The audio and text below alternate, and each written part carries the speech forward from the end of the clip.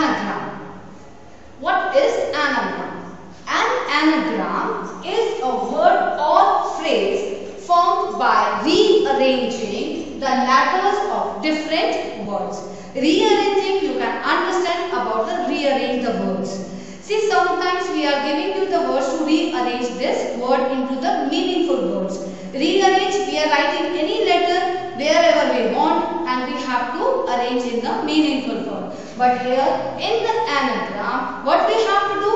The word which we have to give you to rearrange, that is also the meaningful word and in which you are going to rearrange, that is also the meaningful word. See here, typically using all the original letters exactly once. Every letter you have to use and only once. If it is written in the once, we have to write only once only. Like if we will say dusty, D-U-S-T-Y. This is also having a meaningful word. If we will change this word in like through rearranging, so we will make study. S-T-U-D-Y.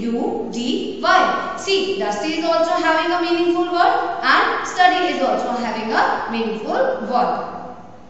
See students, here I have written some examples. Dusty, that I already explained you now. Dusty, study. See here, D-U-S-T-Y. Dusty, this is a meaningful word. S-T-U-D-Y. This is also a meaningful word. Same here, one. Own. O-W-N. We have used W only once here. N and O. Once we have to use. Listen. L-I-S-T-E-N. Silent. S-I-L-E-N-T. See. S-I-L-T-E-E-N-T. S-I-L-E-N-T. Silent. On. No. Waste. Wastes. Rear. Rear. Rare.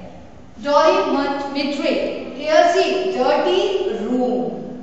We have how have taken D-I-R-T-Y. Dirty. R double O M room dirty room. Funeral real fun.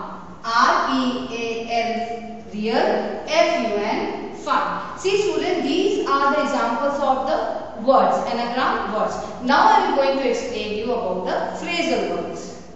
Let's start about phrase. See here I have written here school master.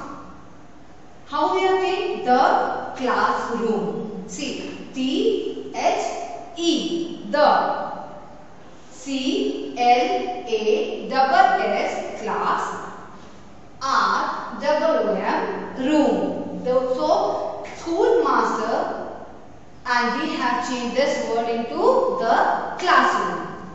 The eyes they see. A gentleman elegant man. 11 plus 2, 12 plus 1. See, these all are the meaningful words and phrases. These are the phrases. All are the meaningful phrases and when we are going to rearrange these all phrases, so these are also the meaningful phrases. What we have to do? We have to write the, arrange the meaningful phrases into the meaningful words. Same here. Understood? I hope students you understand well about the anagram and the words and phrases. Thank you and have a nice day.